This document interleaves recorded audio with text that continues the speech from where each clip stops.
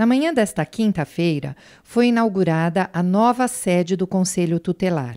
Várias autoridades estiveram presentes e o prefeito Reinaldo Nogueira aproveitou para elogiar o novo espaço e destacar o importante trabalho desenvolvido pelos conselheiros. Acho mais importante do que o espaço é as pessoas que estão aqui.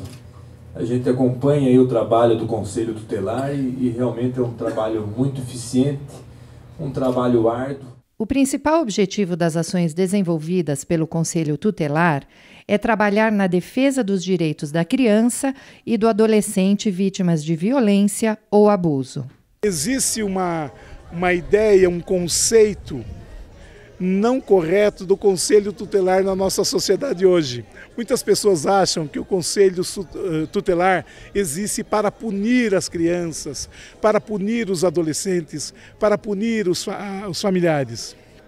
Porém, o conselho tutelar existe para proteger as nossas crianças e adolescentes e para garantir a prática, garantir o direito à vida que eles têm.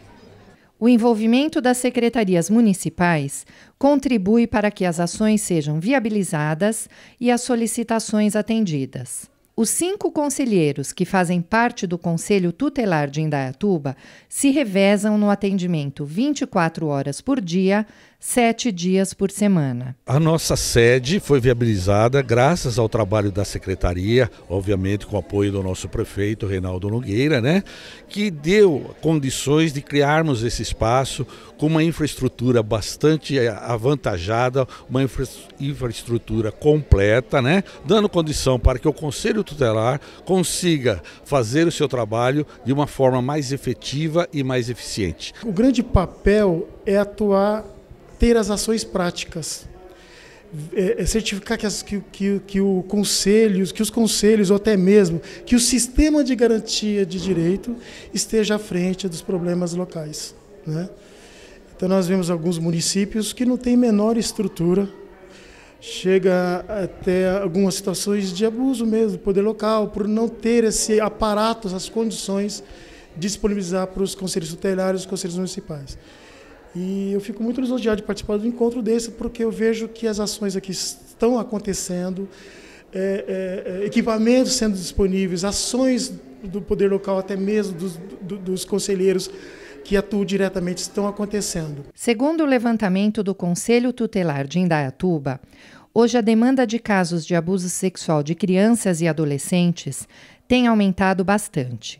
Por isso, é extremamente importante que a sociedade contribua fazendo a sua denúncia. No caso de denúncias, né, ela pode fazer uso do telefone 3894-2558 ou comparecer aqui pessoalmente também para efetuar esta sua denúncia. Uh, lembramos que todas as denúncias elas são muito sigilosas, elas são sigilosas, tá?